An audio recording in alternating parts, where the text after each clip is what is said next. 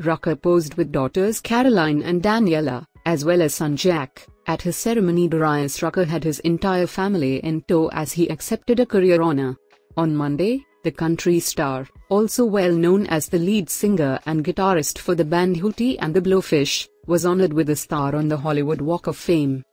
At the ceremony, Rucker celebrated with all three of his kids, Caroline, 28, Danielle, 22, and Jack, 18, posing with them on the red carpet and giving them a special shout out in his speech.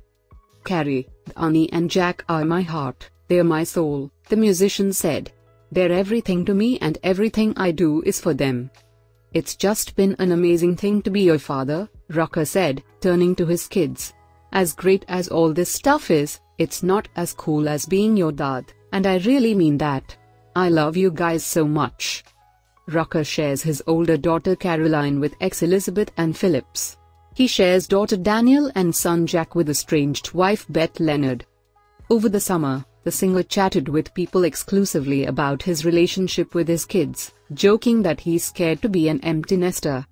Sharing that he's long made it a priority to work quality time in with his kids, Rucker revealed that he relies on tech like FaceTime to keep in touch with his kids while he's on the road as a touring musician.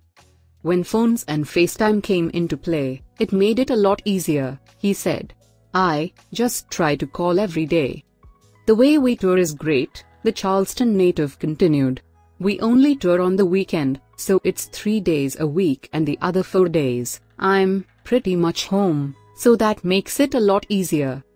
His daughter Danielle graduated from New York University this year and his son Jack recently started at the same institution, rendering Rucker an empty nester. I'm scared. I hope I don't have too much fun, he joked.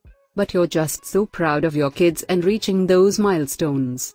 I better spend time playing a lot of golf and traveling around and probably traveling to the city that they're at so I can see them.